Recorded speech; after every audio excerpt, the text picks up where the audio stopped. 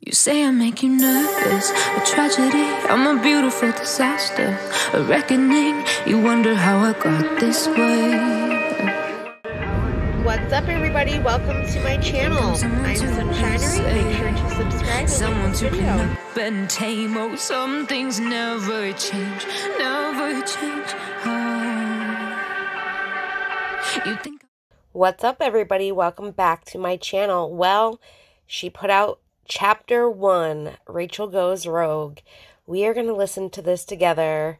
My first time listening it will be why I edit this video, but I try not to peek and see what people had to say yet so that it didn't spoil it. But I did look at Reddit and someone wrote like a whole closed captioning pretty much of the podcast. And I read a little bit of that. So this is going to be very interesting. Let's just get right into it. Make sure you hit that like button down below. All right, let's go. My name is Rachel Savannah Leviss, and I have decided to create my own podcast to get my story out there. It's been a while since all of this stuff has gone down, and I've been quiet this whole time. I know what I have to say is important, and it's been a scary decision deciding to do a podcast because I'm really opening that door up again for all of the scrutiny and judgment. But the more I think about it, I feel like I'm almost obligated to myself to stand up for myself. I would rather speak my truth and share my story and be ridiculed for it than just sit idly by and watch this whole season pan out and not get my story across. So that's why I'm doing this podcast. Okay, I'll say it then. You chose not to be on season 11. You chose not to be on season 11 because they were not going to pay you the same amount as Tom and Ariana, who have both considerably been there since season 1. All 11 seasons. You have not. And that's how contracts work. And because you thought you deserved to be paid more, that's why you didn't come back. Yes, you might have other reasons as well, but that was the biggest reason out there. All right, let's see what else she has to say. I'm here in a room with a bunch of awesome women. These are my iHeart family members um, who have really taken me in and shown me that it's okay to speak up and encouraging me to really step back into this spotlight. Um, and they really believe in me. So I'm grateful to have them here with me. this is our first episode with you and it almost didn't happen it was really hard yesterday figuring out is this the right thing for you to do It was a tough day yesterday just because I'm trying to decide like is this the best decision for me? Um Going back to do season 10 of Vanderpump Rules was very difficult for me. And I've realized that I'm not necessarily cut out for reality TV. I don't know. Like it just seems like there's a lot of strategy going on with reality TV and things aren't always the way um sorry, I'm nervous. that's okay I'm very hesitant to come back to the entertainment industry. There's another world where I close the door on the entertainment industry completely and go live my life um, in nature and do my yoga and Pilates and really focus on my therapy and mental health. But I feel like there's also a world where I can speak my truth and I can get my story out there.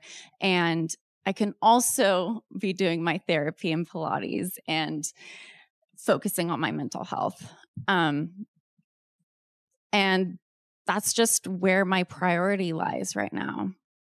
Yesterday, I almost pulled the plug on this whole operation just because I'm I'm really scared. I'm really nervous. I'm I feel like it's a lot of responsibility for me to put out a podcast every single week while Vanderpump Rules season 11 is airing every single week. I have a plan with my therapist to process what we watched on Monday's episode for Tuesday. And then I have the remaining days to come up with what I'll be talking about on my podcast. Um, and I don't want my podcast to be like a response necessarily to what they're putting out there for season 11 because ultimately I'm not a part of it. I removed myself from that situation for a reason. Um, my intention is just to share my truth. Now, I think she has a wonderful plan put in place that she will be working with her therapist along with, I guess, watching season 11 in my opinion, with just situations that I've been through in my life, if I don't want to see something, then I don't have to watch it. And if I don't watch it, then I don't have to know what's going on. And by her watching it, she's still involving herself in their lives and having that opinion in their lives from watching the show about how she feels about things. And clearly, I know that they're going to be resolving a lot of things within season 11 regarding the affair and everything that happened. But that is their journey, and she's inserting herself into their journey when, in my opinion, she should be worried about her own journey. I think she should be moving on and, yes, tell your story, get it out there, tell your side, all of that, but then move on if you didn't want to be part of season 11, then you don't have to watch season 11 either. I don't see where, like, she has to watch it to then discuss it on the podcast. Like, I don't get that. To me, that is just a way for her to make money and to keep inserting herself. I really think that she needs to be working on her mental health. There's a lot of underlying issues. I myself have mental health issues that I work on every single day. I don't necessarily deal with press and things like that like she does, but I deal with the constant bullshit that comes with putting myself there online. And the people have their opinions about me, my appearance, my looks, my way I talk, my attitude, all of that. It happens when you put yourself out there. And I just think that if she really wants to work on herself and be a better her, there are much better things that she can be talking about on this podcast and her journey to fulfilling herself in that sense. I don't know. This is like I just want the best for her. I've always have. Uh, people make mistakes. I understand that. I still am on Ariana's side with this. That like she is the ultimate victim in all of this whole situation, and Rachel needs to move on and develop herself and become who she wants to be and learn from the mistakes that she made in her past to become the best version of herself. And I just feel like this is like opening a wound. The wound like just healed and now you're reopening it. And I know she hasn't had her chance to say her side of the story. She only did on Bethenny Frankel and that was like, you know, four parts, but whatever. But this is her way to talk with like nobody else influencing her kind of a thing. And she deserves that right. I just hope that she doesn't harp on it, but we will see as the podcast goes. All right, let's listen more. What would you say is the main reason you did not want to be a part of season 11? Oh. uh, the main reason why I didn't want to be a part of season 11 is because oh, I I don't want to be with Tom. And I've made the decision to cut Tom out of my life. Going back to film the show, it would force me to interact with him, first of all. And I know I'm on the outskirts with all the other cast. So I wouldn't get my story across. I really believe that the girls wouldn't give me the, the time of day to let me open up to them, um, given my previous history with my interactions with them. Um, so, because I would be on the outskirts with the cast, it would put me in the same boat as Tom. And Tom has a way with his words, and he would get back in my ear, and I could just, I know I'm not in the place where I'm completely strong enough to be able to resist that. You know, I'm not the risk versus reward. Like it's too risky for me to go back, especially at the most vulnerable state I've ever been in in my life. So, couldn't. Did you at all consider going back? Oh, yeah. Oh, yeah. well, okay. So, going into treatment, right? I. I knew that Tom was not a healthy person for me. I had become the worst version of myself through the seven months of, you know, secrecy and deception and going along with these lies that ate me up.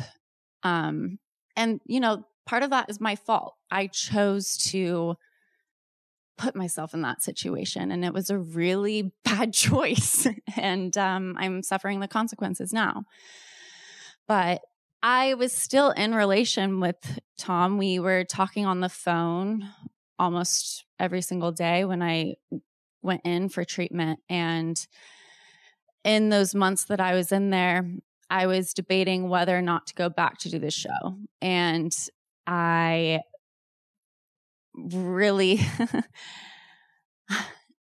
I realized that my problem stemmed from these unhealthy relationships. And although I knew that Tom was bad for me and he had violated me and got me into this position, I was still talking to him and still making plans to see him after I got out of treatment.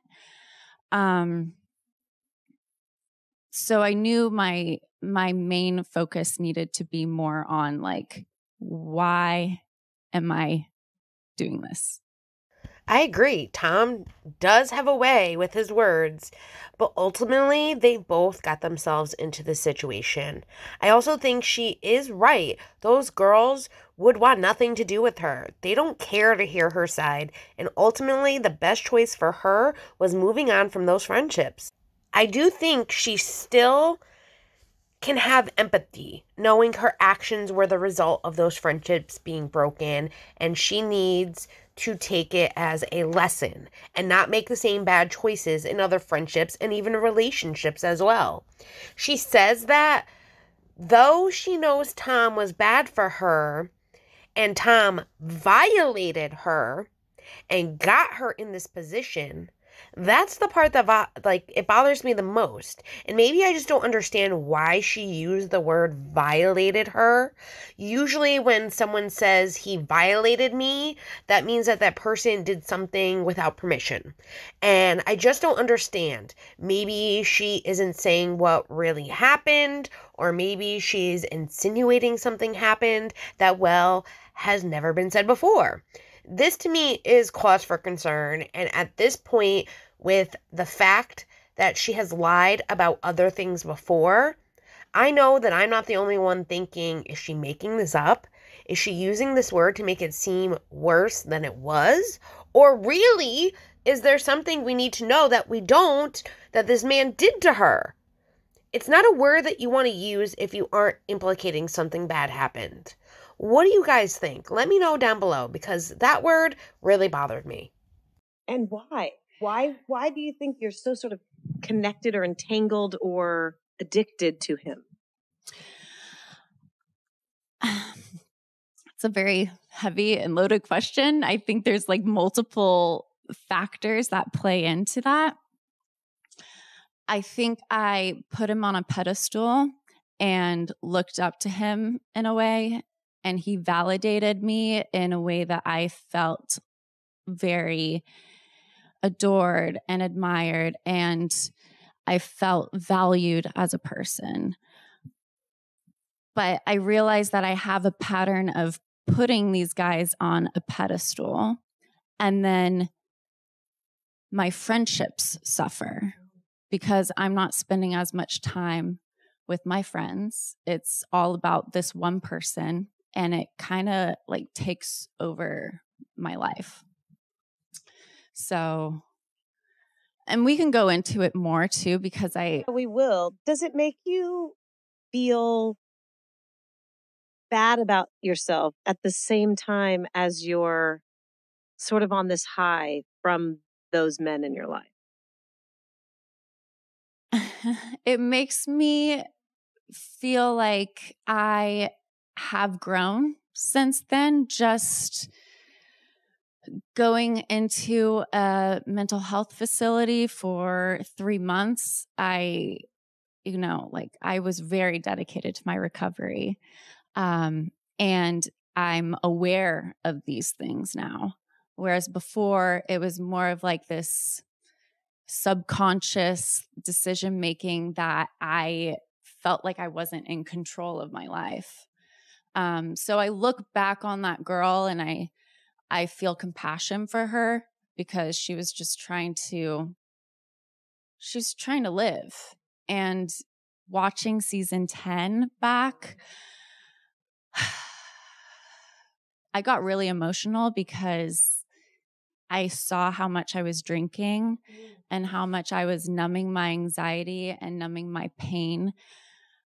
I went through a breakup with my ex fiance, and he, we had a no contact policy, which was great, but we were working together and we were filming together. And he brought his new girlfriend, who he met three weeks after I ended our engagement, around and told me that she was the love of his life.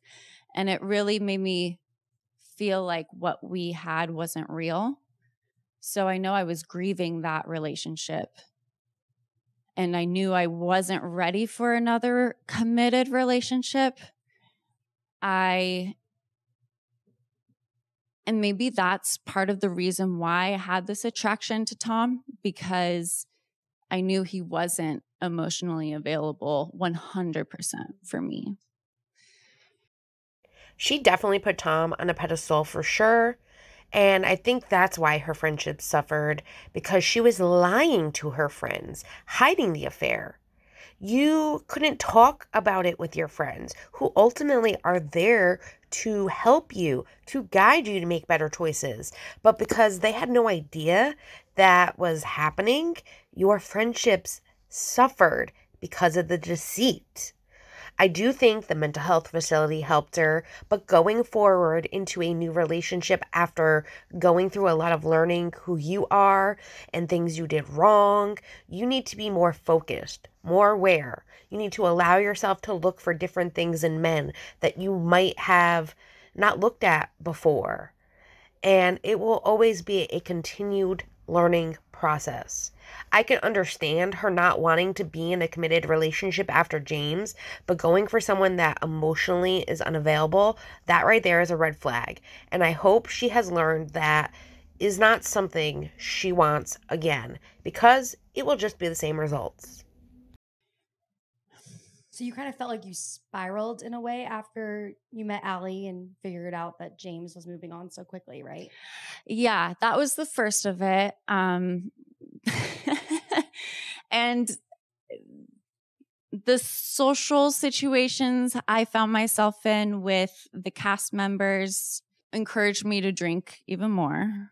Um, and I really needed a therapist in my life to help me like talk these things out.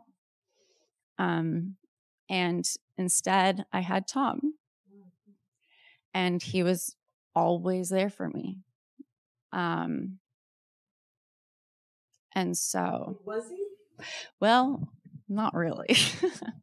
yeah. What makes you think, sort of, as you're describing it, that he was, and now looking back on it, what what was really going on? Um, yeah, good question. It felt like he was always there for me because we would FaceTime literally all hours of the day, every single day. And he would come over to my apartment and we would, we would just like kick it on my balcony and vent about our filming experience. And we bonded over that unique situation of being on a reality TV show and the things that happen behind the scenes that aren't talked about and you know viewers don't really know about um, that he understood. And so i felt seen and i felt heard by him. I felt validated and it just seemed like he was always ready to drop anything to come see me. Um Do you think it was genuine? I thought it was. I thought it was. Um, and I think, I think there's a part of him that it was a genuine, deep connection. I mean, only he can speak on that, really. But um, I think there was also healing that he needed to do in order to be a more mature adult to handle his relationship because he was telling me that he wanted to break up with her and venting to me about that relationship, but then feeling stuck and like he would always tell me that he was actively like breaking up with her and going to the couples therapy to break up with her and I think I was just too patient with it um I mean, if I could go back, I would do a million things over. But in this specific instance, I feel like I should have really just put my foot down and been like, okay, like you need to decide what you want because you're telling me one thing and your actions are speaking a different story. Um, and just like completely walk away. Did you I'm not gonna lie, her nervous laugh is kind of bothering me. And that's just something that personally I think she needs to work on, but it's just some constructive criticism for her. Now, was Tom leading her on? I believe he was in a way, and he was also emotionally fulfilling his issues with Rachel. I think they both understood right from wrong, and to allow it to go on as long as it did is cause for concern. And at this point, she was already pretending to be Ariana's friend. Let's be real here. And my question is, why didn't she just go ask her what was happening between them? Like, why didn't she go and find out for herself? Like, what maybe he was saying to her so that she could have a better understanding what he was saying to her and if it was the same thing there are just questions, and the more that it's being discussed, the more questions we all will have. What questions would you like to ask? Let me know down below. ever consider telling Ariana anything that he told you about what was going on in their relationship and how he felt and everything? Yeah, um, it was definitely uncomfortable um, knowing this in the back of my mind and knowing that she didn't know the extent of it. But that interaction that you saw me speak to Ariana, one of the later episodes on season 10, where I was asking her about her sex life, because Tom was telling me that they weren't having sex and it wasn't existent.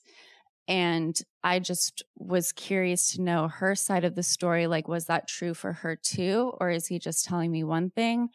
Um i wanted to know like is she really attracted to him or is this more like a you know glorified roommate situation? Because that's what he was telling me. So i was trying to feel that out and it happened to play out on tv so i see what it looks like you know So, when Ariana was standing there telling you that she still found him very attractive, the things that they were working on together, that she loved Tom, she was in love with Tom, why didn't Rachel stop it all then? She felt her out, per se. She got answers. Maybe she put the blinders up to continue what was happening, but she could have stopped it all at that point. And at that point, it would have been like, you know, a month, two, three into the affair. It still would have been hurtful regardless, but maybe less traumatic for Rachel herself. For all we know, this could have been something that was hidden from the entire world, and we all could have not known about it and maybe found out later on seasons, you know, down the road, kind of like with Scheana and Schwartz kissing each other and how we're going to see that in the new season, which I can't believe that happened. But you know what I mean? Like, I don't understand why she didn't stop it all then. She had the opportunity to feel her friend out. Her friend was very much in love with her boyfriend at the time, and she didn't stop it. I mean, obviously, this is just our first episode, so we're just kind of going into it and we'll break down everything as the weeks go on.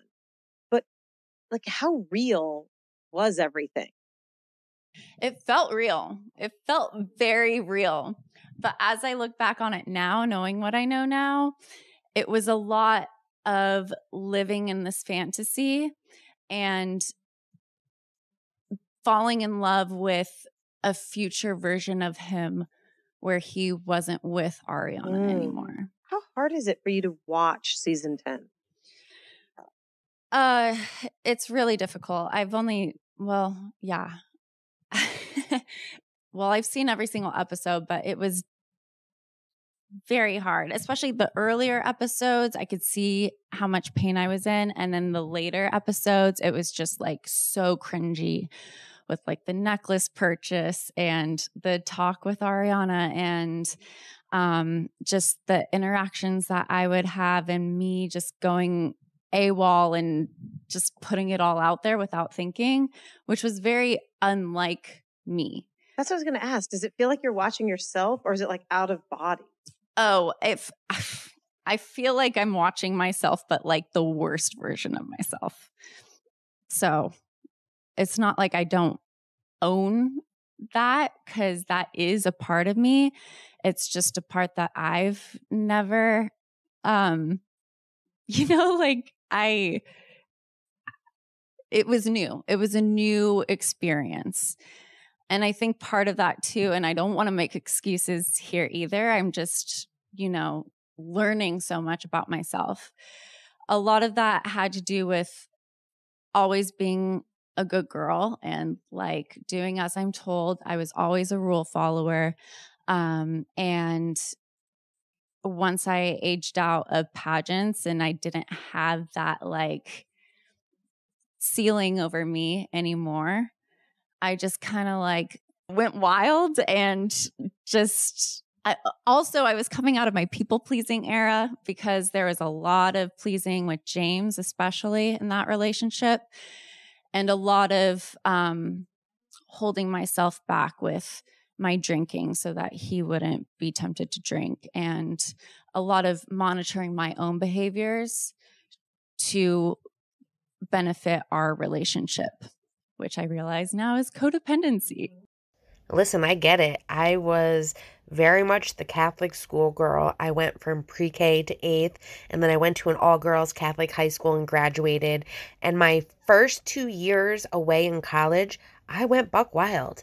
I made choices that were bad for me. I was in bad relationships. I experienced things I never thought I would experience. I lost that structure and the more freedom that I had. I didn't stop myself. I let go. But I look back at those years as learning experiences and I know my limits. I know what I need to do to be the best version of me. And I have my own moral structures now in my life, which I learned you need to create your own structures and it can change of course, but it's something you can lean on to be the best version of yourself. And I do hope that she gets there one day as well. Was James your first unhealthy relationship? James was yeah, James is like my first real real relationship and I met James when I was 21. Um and so, you know, now I'm 29. Yeah. Um and all of those years have been on a reality TV show. So that's or in pageants before that. I think it's mm-hmm. important mm-hmm. to acknowledge that also played a part. Well, yeah, with the pageant life.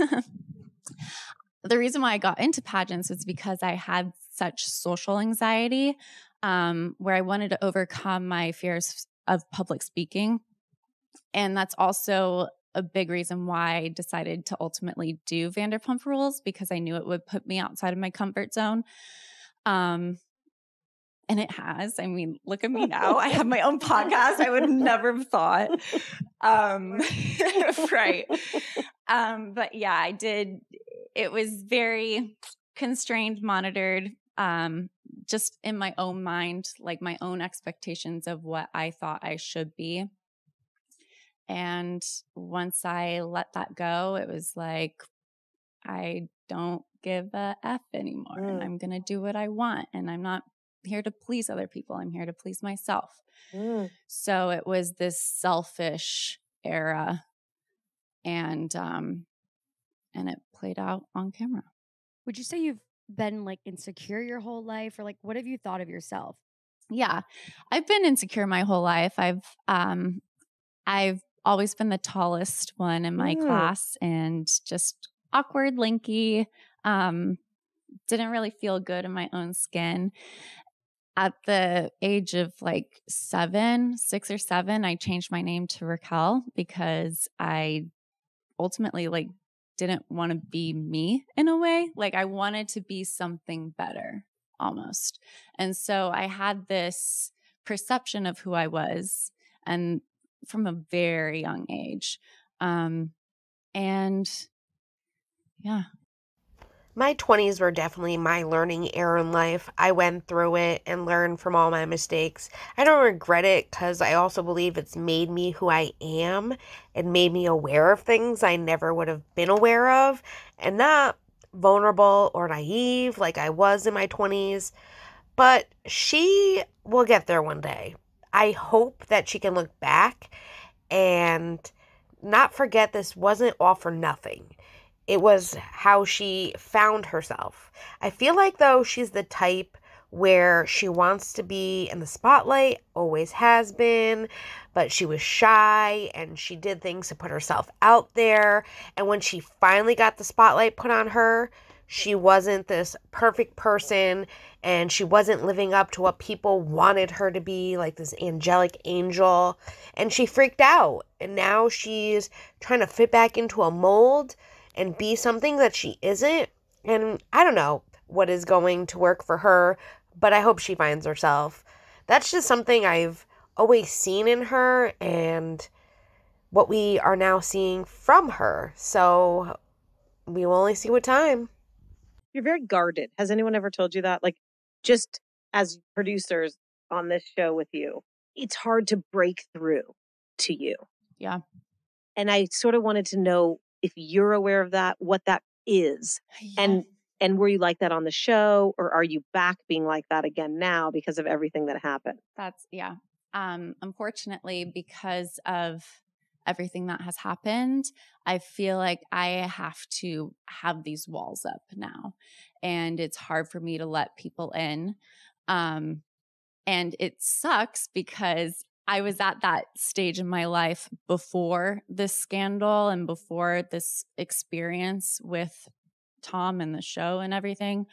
Um, then things got out of hand. And now I feel like because it has become such a talked about scandal, um, it's kind of put me back in that same position. Not the same position because I'm definitely in a different place, but it's that same feeling of like, oh, I can't let people in. And I'm also like walking around thinking like, oh, does that person, you know, do they recognize me or do they have like what do they think? Are they judging me right now?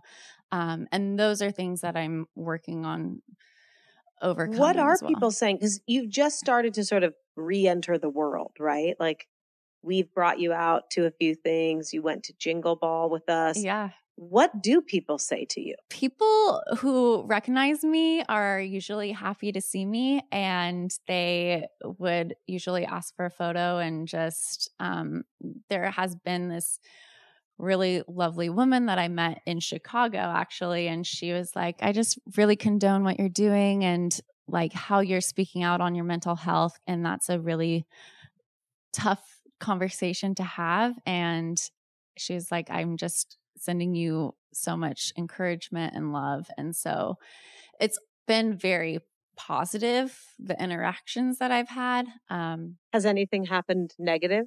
I'll bring up one, but we'll get to that. what, the David Portnoy?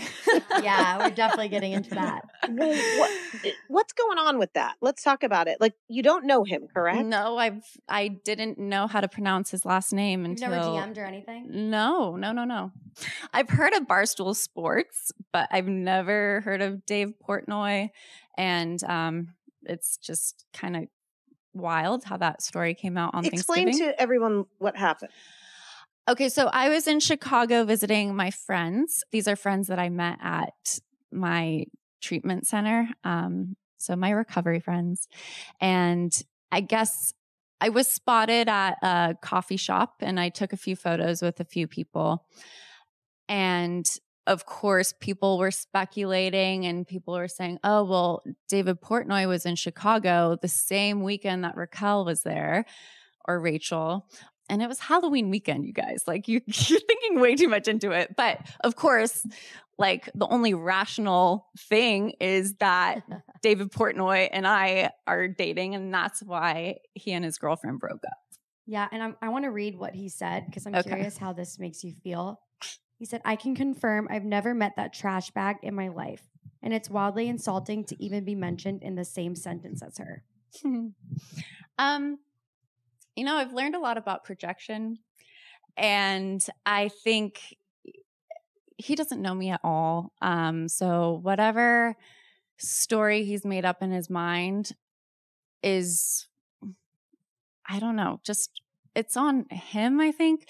And also, I know that there was, there's a lot of misinformation about me out there too, and I think the reason why he's so polarized to me is because he believes a lie that was put out there.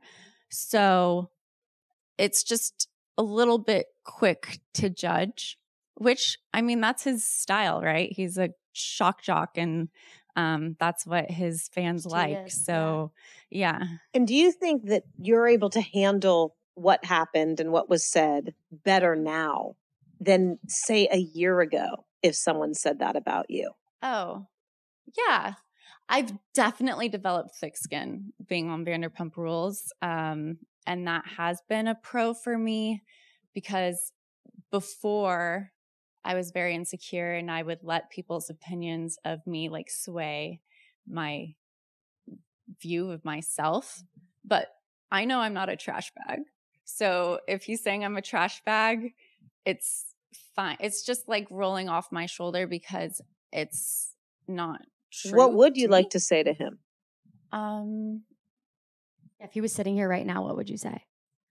I don't know. I'm such an avoidant person. I'm like, I don't know. I wouldn't want to be in the same room as him, honestly. Yeah. Fair. Being guarded is not a bad thing. Having a small circle of people you trust is not a bad thing, in my opinion. And I get that she is worried about what people are saying about her. I mean, who wouldn't be? But she also is on a much bigger scale of fame, and she needs to be less caring of what people who don't know her that judge her based off what is being said and reported and not care and just live her life knowing that if she is true to herself, she will show her truth for those who care to see it and those who are the ones that matter, not the ones that don't care to see it. If she lived her life trying to be what everyone wants her to be, she won't be happy. And what lie did David Portnoy believe? People are allowed to think that she's a trash human for what she did. And what she did was have an affair with her best friend's boyfriend. That is not a lie. Regardless of how it happened or if he said the right words to later get her hopes up, she still was trash for doing that. Period. He is entitled to feel that way.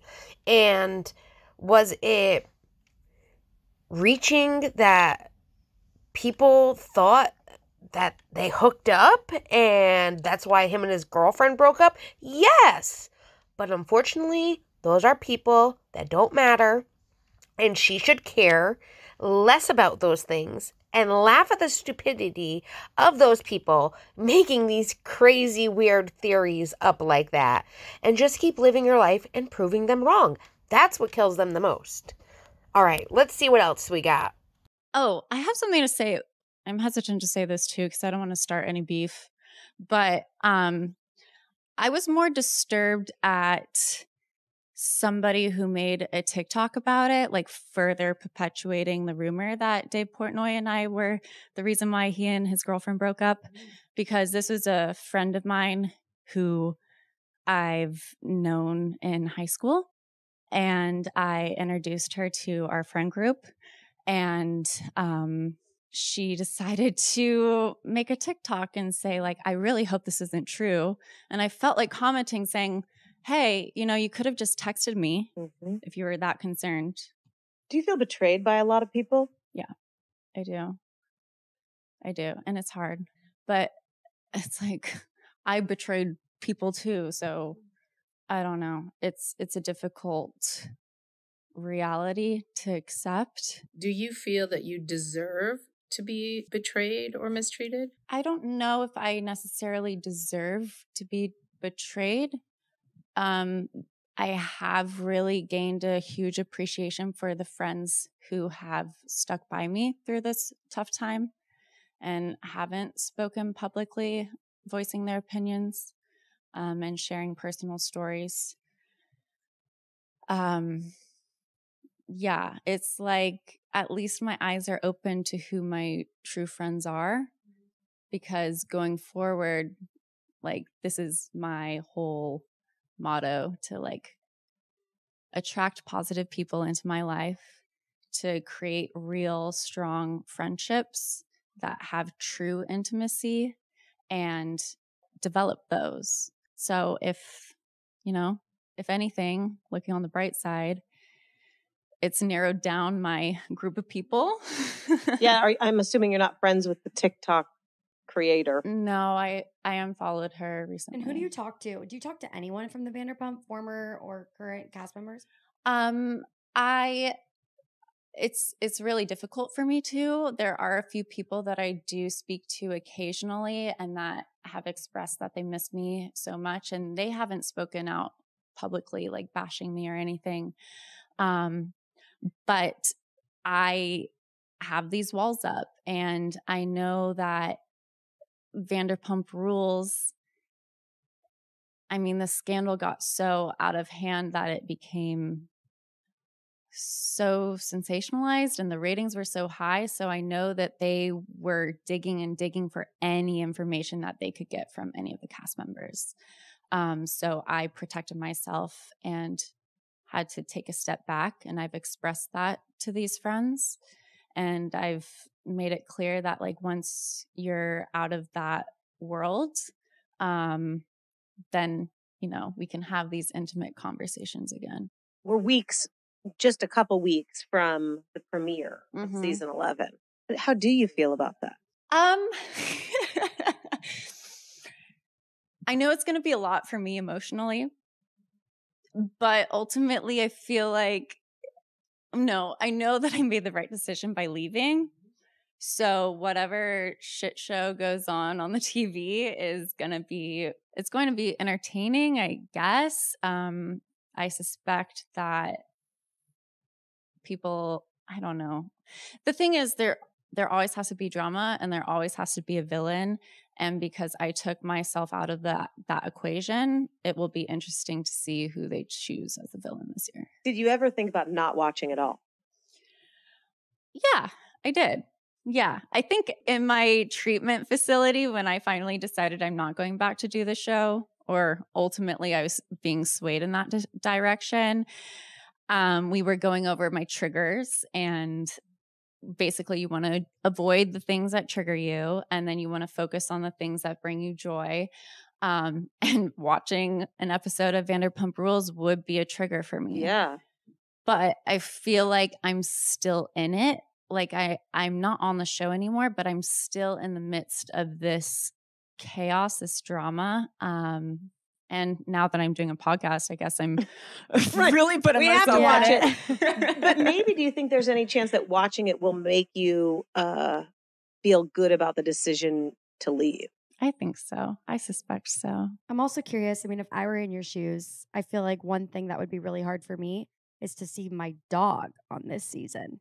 Like, how do you feel about that? That's really hard. Um, and this is one of the reasons why I wanted to do a podcast to talk about these things like the Graham situation. Do you want to take a minute and sort of talk about the dog? Oh, God, this is a long story. So, Another key word I heard her say was that when she was in the treatment facility and she decided she wasn't going to do the show, she then said, Well, ultimately, I was being swayed in that direction.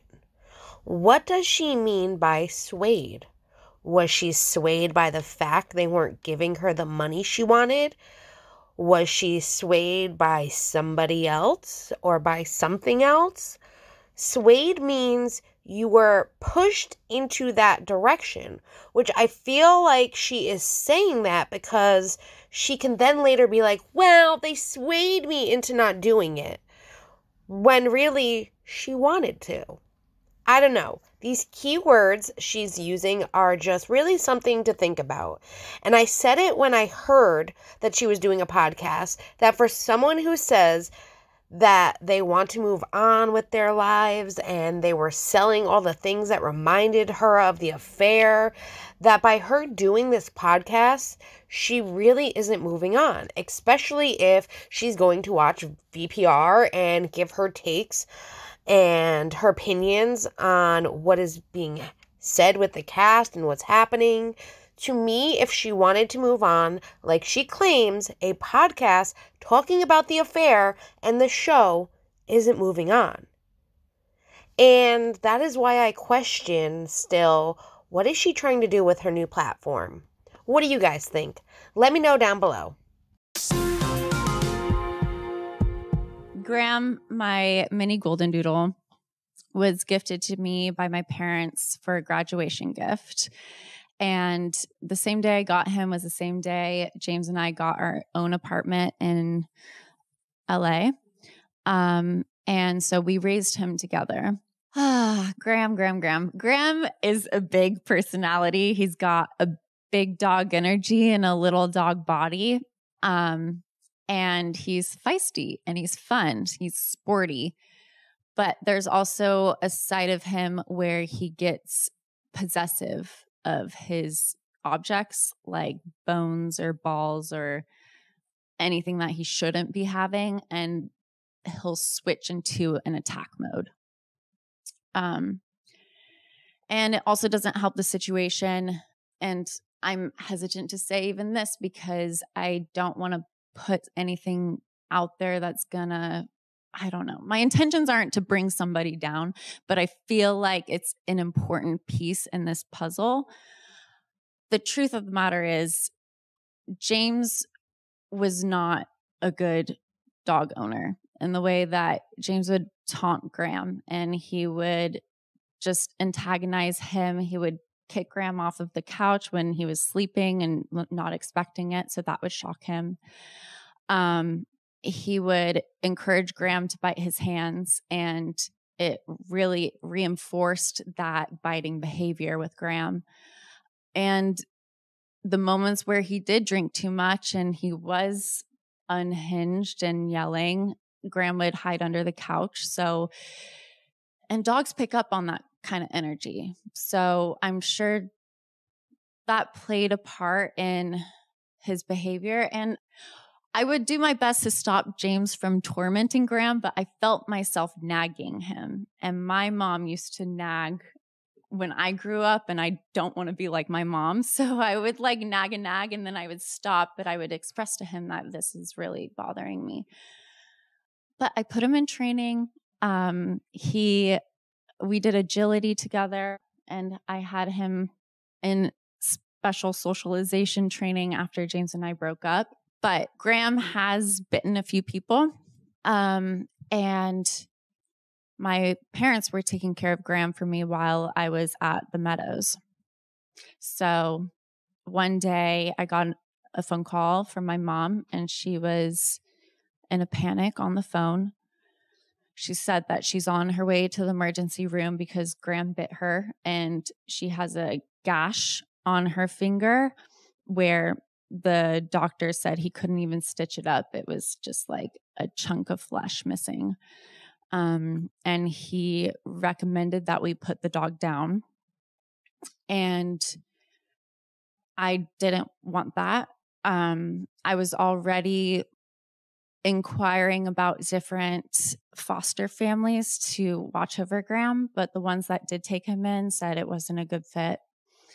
So I had the really difficult decision to either leave the meadows and take care of my dog or stay and extend my stay because I knew I had more work that needed to be done because I was still talking to Tom every single day.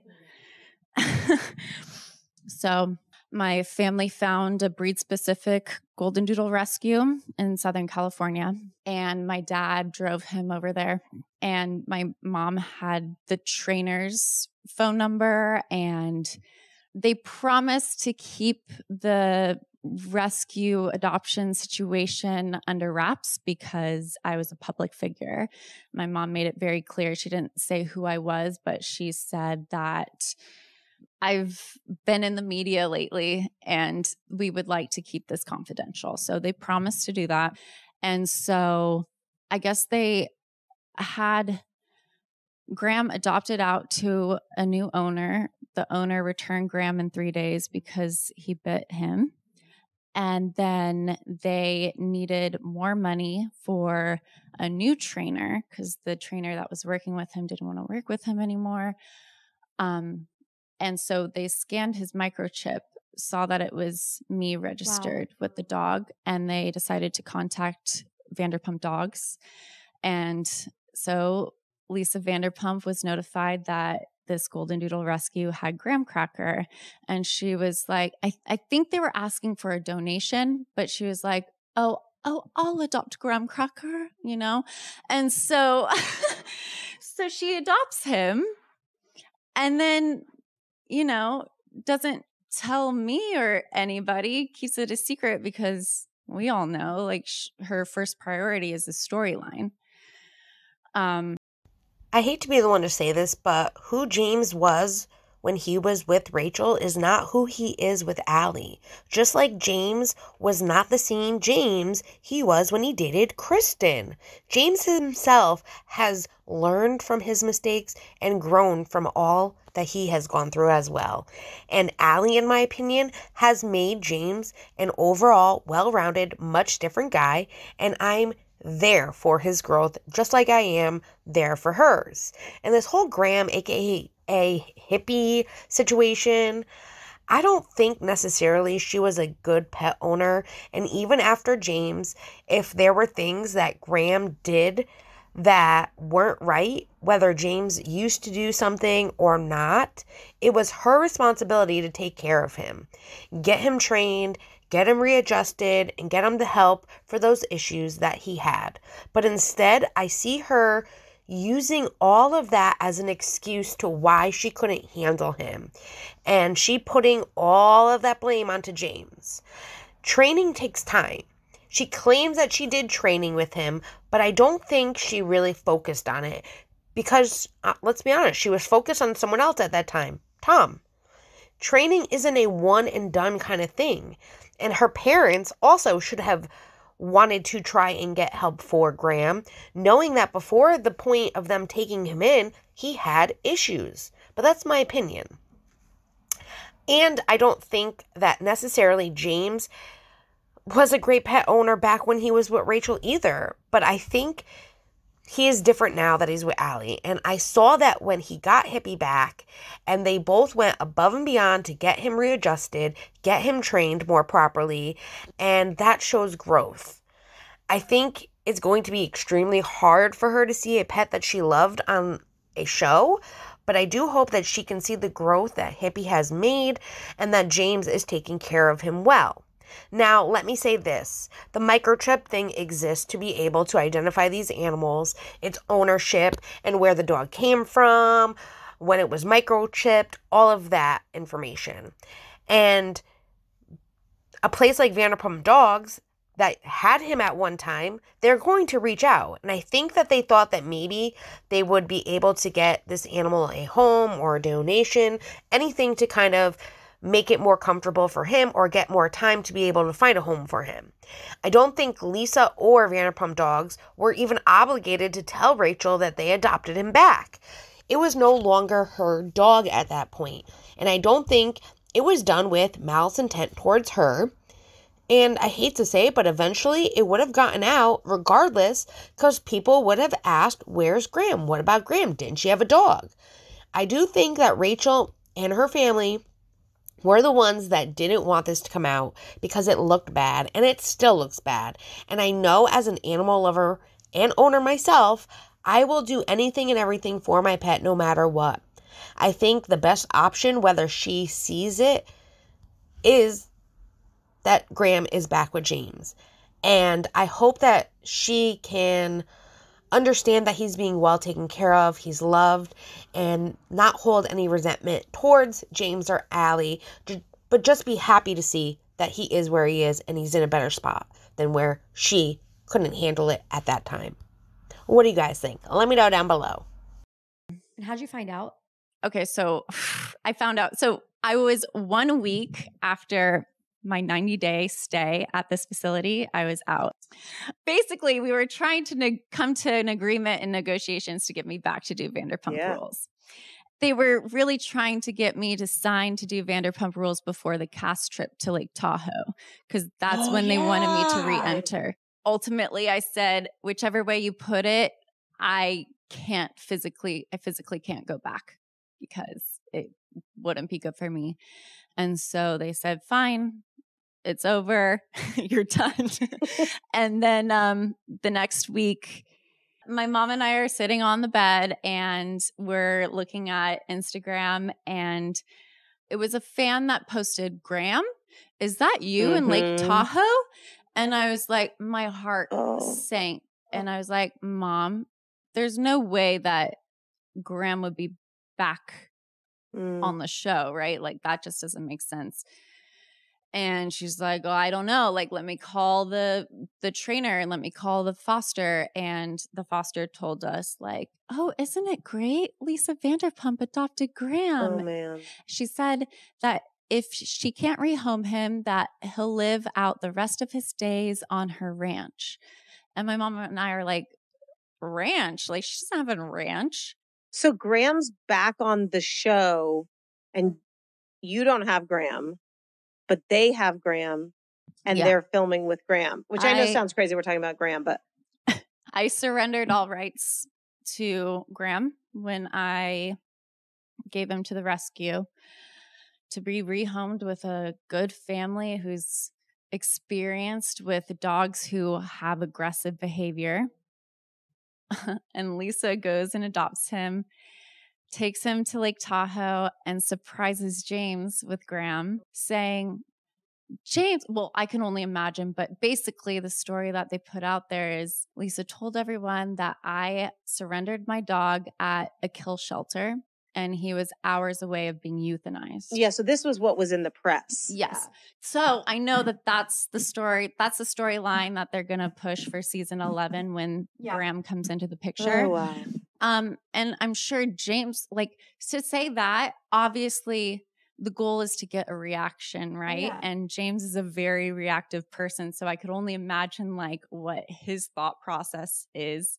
And then it's like to drop this dog on you and not even like console your girlfriend to see like what's you know like it was very like spur the moment and to think about i was only a week out of my treatment and their whole plan was to get me to tahoe so that they could drop this bomb on me Crazy. i told lisa i You spoke to her. yeah i i texted her saying i don't support graham being with james he needs to be with an owner who knows how to work with troubled dogs um and I won't go into the specifics of why I don't think James is a worthy dog owner, but this is, you know, like I would not live with myself if I didn't express these concerns and something were to happen. And so she called me and I expressed my thoughts, but her concerns more lied with me coming back to do the show. And she said, Well, darling, why don't you just come to Villa Rosa and bring me some flowers and explain why you left SUR so abruptly without notice and apologize? And then you can explain your side of the story. And it was like, wait, what? And almost, eh, you know, like it almost got me because I was like, well, I do want to explain my side of the story. Like, Yeah. this is an important thing. Like, this is my child that's being drawn into this mix. And I feel like they were almost using him as bait. Perhaps. I don't know, but it definitely has been a thought that has crossed my mind, trying to get me to come back and explain myself. But I realized that if I were to explain the real story, they wouldn't air it. Again, when you relinquish all your rights, there is no way for you to be like, well, this isn't the home I want him to go to. You have no right after that. And in my opinion, these are all just her assumptions, and we will definitely be seeing more in season 11. But I don't think just because she was once an owner that she has any right to be like, well, he shouldn't be on the show, or Lisa should never have adopted him, or that Lisa should have called her to tell her, or who she even thinks the dog should go to. Like, she has no rights after that. And again, I think Hippie is in a loving home. He has training that he's been doing and continues to go through from everything I've seen and read, and we will all get to see too. I believe he is in a loving home and that he's being well taken care of. And that's all we can ask for this dog. And I'll say this too because the tabloids said this is how it happened, doesn't mean it did. I don't believe it's even the storyline that Bravo and VPR were pushing. It was at that point assumptions being made by everyone from what they were seeing. And I do believe she is still making assumptions now about how it all went down. I do know, too, from what other shows during their filming and news being broken, that what we hear then is not always what we see and how it goes down. So we will just all have to wait and see there. And I don't think that they were trying to get Rachel to Lake Tahoe to drop this bomb on her. I think these are all assumptions again that she is making. And I'll say this for Lisa to want to hear her out and give her a chance to explain to her what happened, in theory, yes, is a good business move, period. I do think that they would have tried to get her story out. But it's also not up to Lisa or any of them how it is put out there. And that is just how reality television works. And here we go keyword time. She said, I do want to tell my side of the story. This is an important thing. This is my child that's being drawn into the mix. Now, I don't know about you, but yes, my pet is my child. But there is a big difference between a child and a pet. And someone using someone's actual child as bait is horrible. And yes, not something that people take too lightly. And I think, again, the way she words things and how she's putting things is very interesting. And I really feel like she is using these keywords to make a situation more traumatic, more dramatic for her story, and not lie and say, it doesn't bother me because it does. And her nervous laugh bothers me too. And I just don't understand these keywords. What do you guys think? Right. I mean, we're, Because- look, we're just one hour into this podcast and we've barely touched all of it. Yeah. Mm-hmm. And so I don't know that it would have been possible to convey it on an edited television show where you had three minutes in a scene. That's very true. And that's a good point of view from a producer standpoint, which I think is accurate. But then, as a storyline standpoint, I know that James is now the number one guy in the group by process of elimination.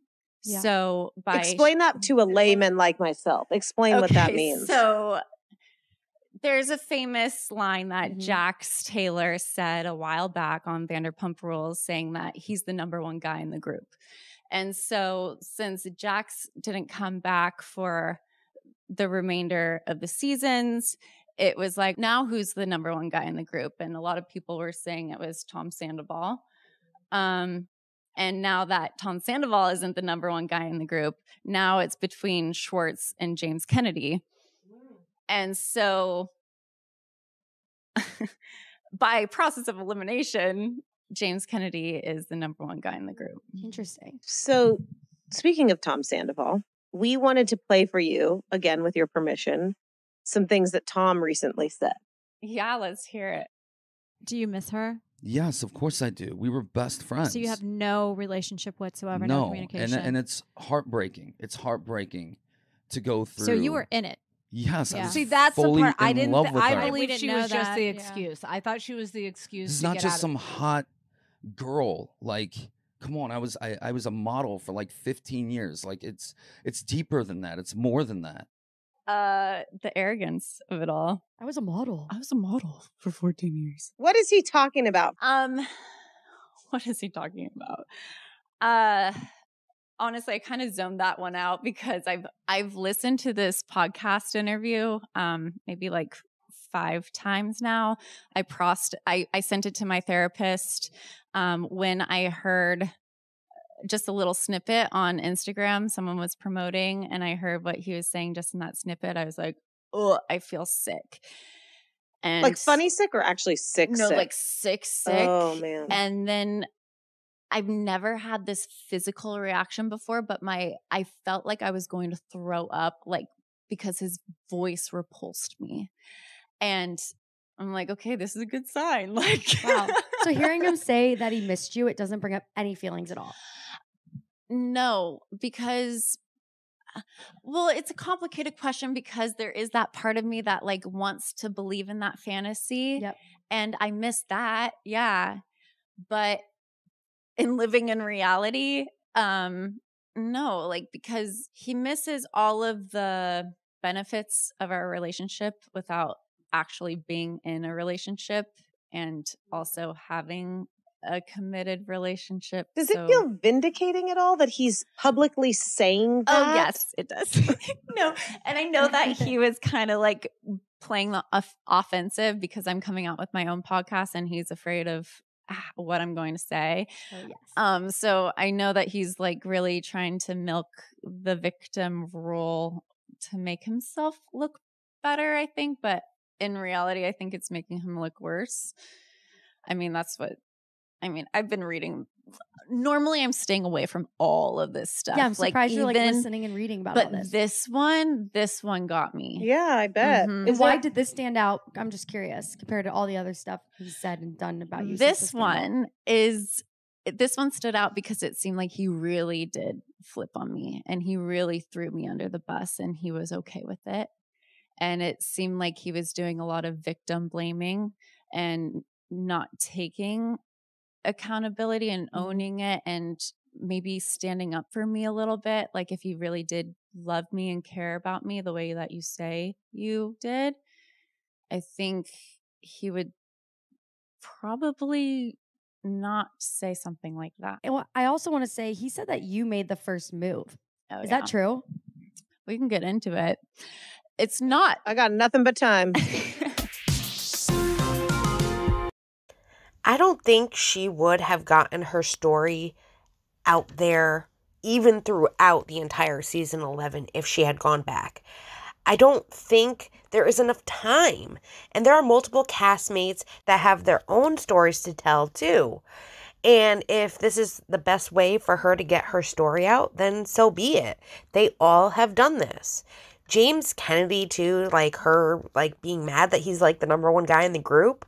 I think at this point in time and where they all are in life, James is the one showing the most growth and is doing well and she can be mad all she wants that he's the number one guy just because it's her ex, but he has literally shown the most growth out of all of them.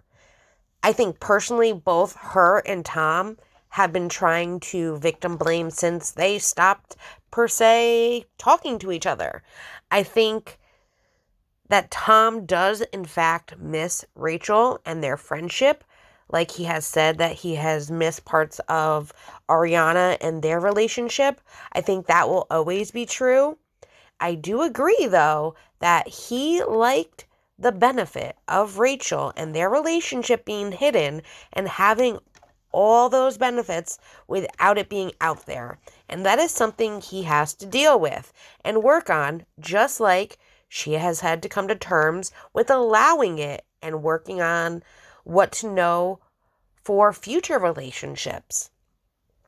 And can we be honest? Rachel and Tom have both milked this victim role and have tried to take the real victim out of the spotlight, which is Ariana, by trying to be the victim when it comes to what each other uh, of them have done and what they did, all of that.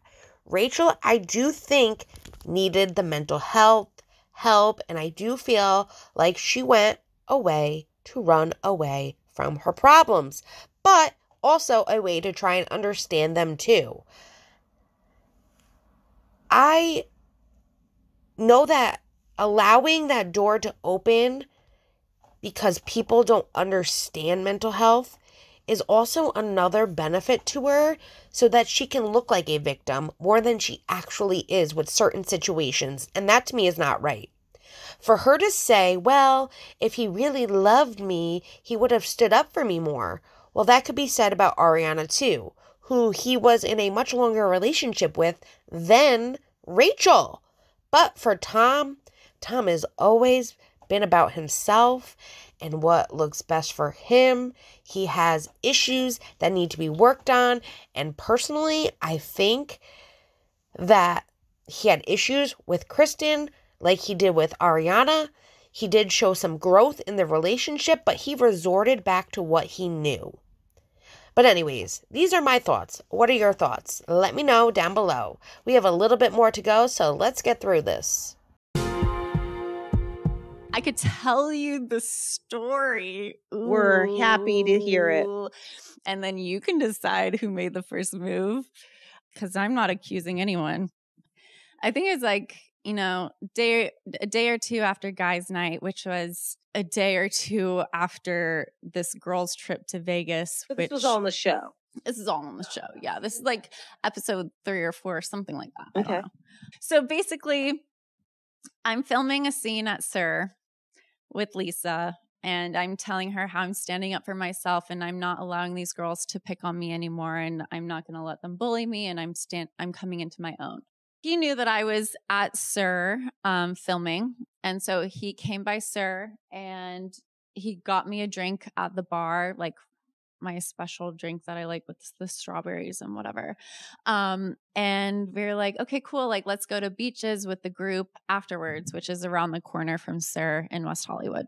And before we left SUR, we had a little conversation on the patio, just the two of us. And were you best friends at This- that point? at or, this or point, good no. friends? Are At you this sexually point- attracted? we were, well, Then though, because sometimes That- people can grow on you. yeah, I think then I was starting to feel a certain way. Got it. Mm-hmm. And the tension he would give me, and just like the, you know, like, uh, it just felt. It we may be good in digging into love bombing later, but Yeah, we shall. Yeah, Okay. cue the love bombing. Um, and uh, so he's like, "Oh, let's let's not go to beaches. Let's go to the Abbey instead." And I'm like, "Okay." So we get a drink at the Abbey, and I was like, "Do you need a, a ride home?" And he was like, "Yeah." And I was like, "Okay, I'll drive you home." So we get to his house, and we're like, Cameras or no cameras? "No cameras, no Okay, cameras, got no it. cameras." Ah. So we get to his house and we're like sitting in my car just chatting for 20 minutes. And then he's like, Do you like want to come in for a nightcap? And I was like, Oh, twist my arm, why don't you? And I was like, Yeah, of course I do. So then we go to the front door and he's apparently locked out because he left his key in there. Um, and this is the house he lives with Ariana. Yeah, where is she? correct. Uh, she's sleeping upstairs. Um, so he's like, "Oh, I'm locked out. Let let me try the back door. Like, come with me around back." And I was like, "Okay, cool." So we go in the back, Oh no. and the sliding door isn't unlocked. So he's like, Well, we've got the fire pit here. I was like, Yeah, fire pit's cool. Like, we could just keep talking. So we've got the fire pit going and we're chatting. And then he goes, He says, um, Do you know what the best thing about this pool is? And I was like, What? And he's like, That it's heated. Oh no. And I was like, Should we go in? And he's Why isn't like, this on camera?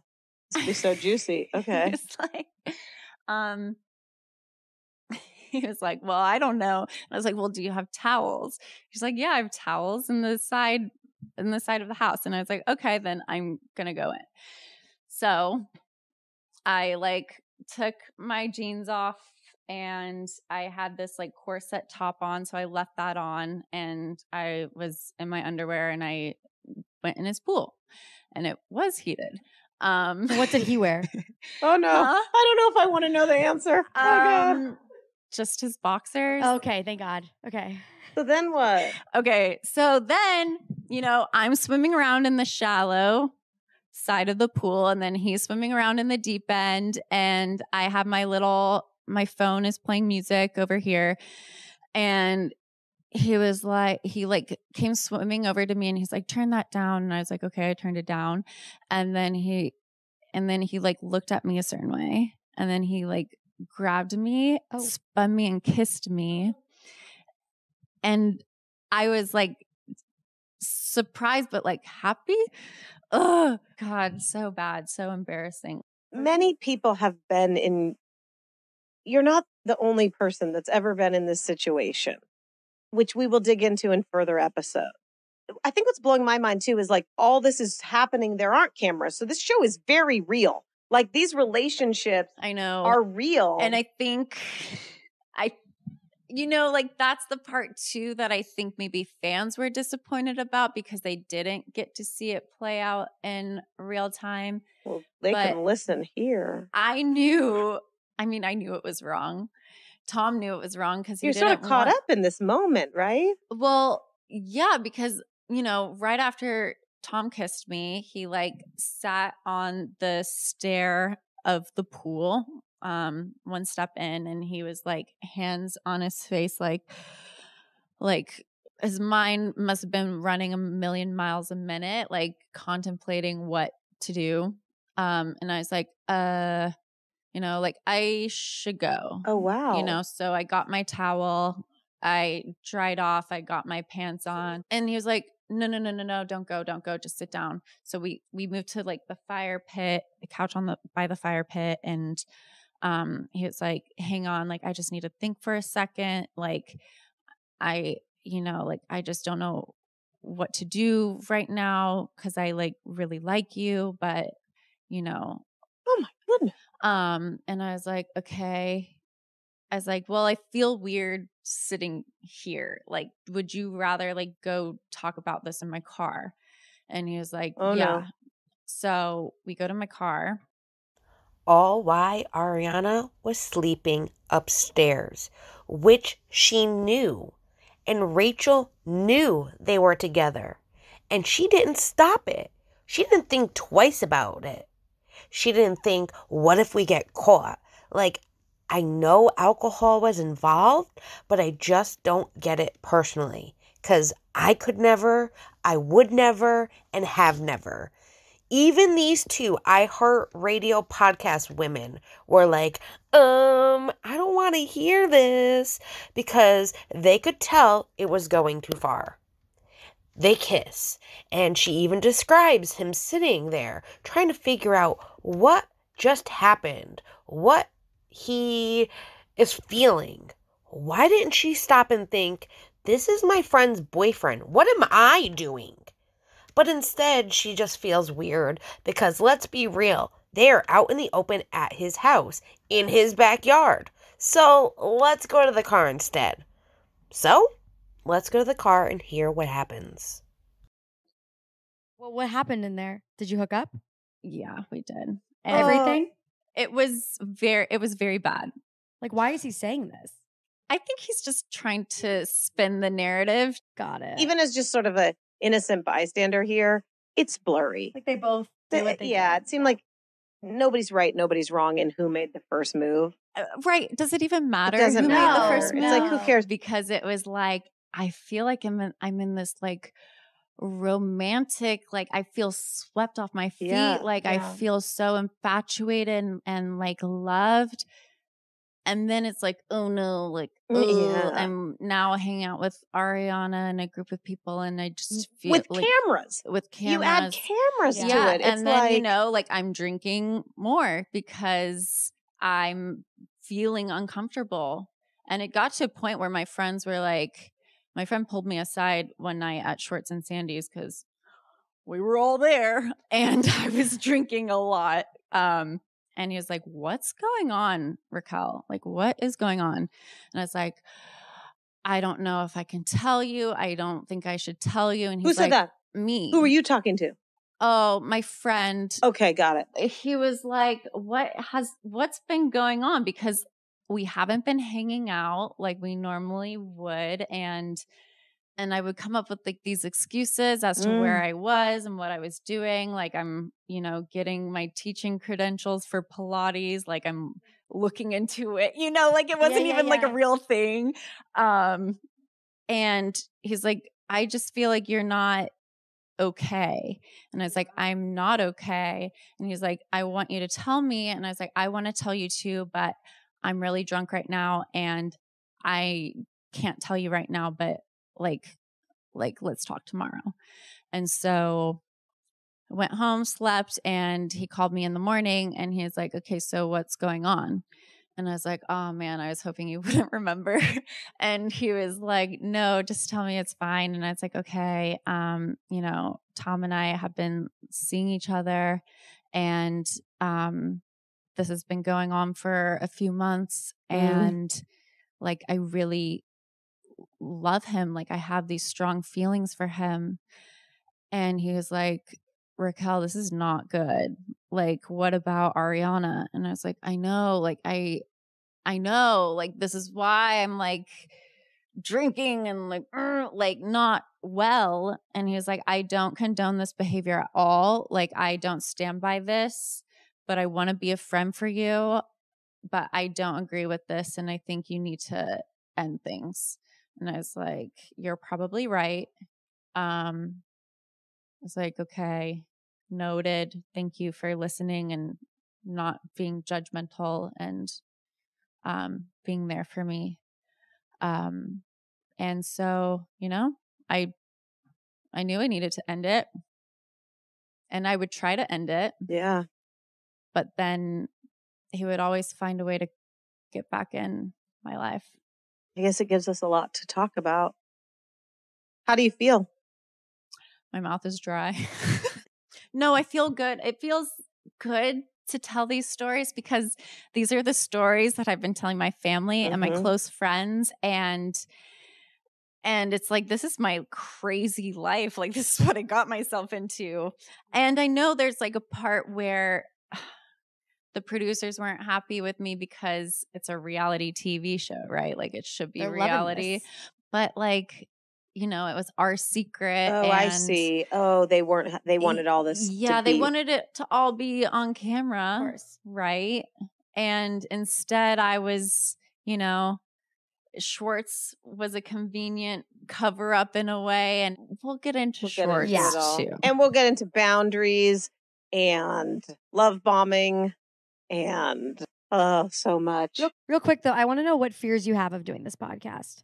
Um, I think my biggest fear is that I'm not going to be portrayed the way that I feel like is true to me. And maybe I have that fear because I don't know, my experience with Vanderpump Rules. And I know like, you know, there's a there's an algorithm. This is the entertainment industry. Like we want this to be a salacious podcast for the views that gets like the ratings and all the stuff. I just don't want to I know I'm in a vulnerable place, so I don't want to get too overboard in that direction because that's not really true to who I am. Also, like there's NDAs that are signed with the contract when you film a show like this where you can't disclose storyline information. Um, and I feel pretty secure in myself that, well, unfortunately, because this Tom Sandoval situation wasn't really a storyline Right. for all of the season, it was my actual life. I feel comfortable Mhm. talking about those things. But then when we go into the realities of reality TV, I feel like that's where it gets a little bit risky. So it feels really good to get these stories off of my chest. And I know that I would just be like spinning around in circles if I remained quiet and didn't get my story across. So I thank you guys for listening. And part of the reason why I'm drawn to do a podcast and talk about these specific concepts of like when you put somebody on a pedestal and there's a power imbalance and issues with codependency and molding yourself to shape someone else's perception of you and getting caught up in those very vulnerable personal things that I've experienced is because I know that there's other people out there that struggle with those things too. And I'm not the first person to be involved in a relationship that wasn't handled correctly. Um so my story is not unique in that mine's just broadcasted to a much much larger scale. Well, that's the end of the podcast. Let me get my final thoughts out there. I agree. It is a very blurry situation on who made the first move, and it's not right regardless. And I think they're still both at fault. They both could have stopped it. They both made the choice to continue even after the first kiss. And that is what led to happen. She says that's when she started drinking more because she felt so uncomfortable, yet she attributed her drinking to the show. And this is what kind of gets me because when she was on Bethenny Frankel, she said it was the show that attributed to her drinking more. And the reality is, it was her actions and what she did that made her start drinking more because she knew it was wrong. She knew it was awkward. She continued it to, though she, yes, might have been not in the right headspace. But those are all her actions, no one else's but hers. And that's where I feel like she has been trying to push the blame of things onto others when it's clear to see the only one to blame was herself and her wrong choices. And I don't see much ownership to things, especially those damn keywords that she used to make situations more traumatic and dramatic than they really are. In my opinion, her friend that she ended up coming clean to and told about her feelings towards Tom and what was happening was again another moment she had to be like, You're right. And she should have then done something then to stop it all. I think he was being a great friend, and though he didn't condone what she was doing, he still wanted to be her friend and help her because he could see what she was doing was destruction to herself. And unfortunately, when someone's actions show that they don't want to change, there isn't much more that that friend can do to help. And she was more wrapped up with this infatuation than the reality of it all. And that moment was a moment. And she should have come back and really looked at it for what it was, but she chose not to. I'm glad that she's getting her story out there. There are some things that to me seem very exaggerated, and that does happen when people tell stories from months prior. Their memories change, their ideas of the situations change. It's bound to happen. I think this is going to be an interesting podcast for Rachel, and I will be covering it as much as we can all tolerate it. If you guys want to hear it, I will sit through it and listen to it and give my opinions like I did, but I can't also sit back and let her just say these things and push the blame onto others when she needs to take more accountability for her actions. That's like step number one on trying to fix yourself and to better yourself. And I think she just needs to take a little bit more accountability for what really went down. What do you guys think of this podcast? What do you feel about her coming out with everything? Are you interested to hear more? Can you wait? Can't wait for next week? Or like, are you done? You don't want to hear anything else? Let me know down below in the comments.